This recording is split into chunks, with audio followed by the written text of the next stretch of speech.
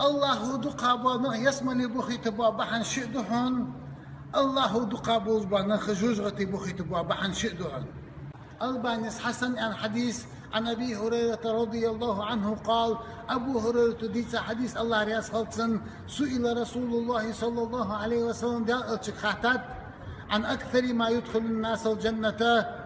فقال du qabuls banda yasma li buhitu bulus da fit an elçi der elçu şu duhun an Allahu du qabuls banda yasma li buhitu bulus da bahna duhun Allahu du qabuls banda yasma li buhitu bulus da bahna hal khirda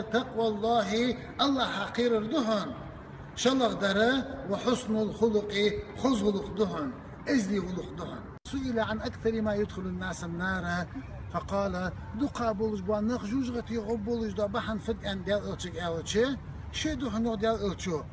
الفم بقي يحن مهت بحن يعني ما عندقتن والفرج عورة دهن ما اختبش نيح قاصق ساحق اشتغل يعني ما عندقتن الشبه عنده زقا بوز بانخ جوجغتي غبولج قيمة لنا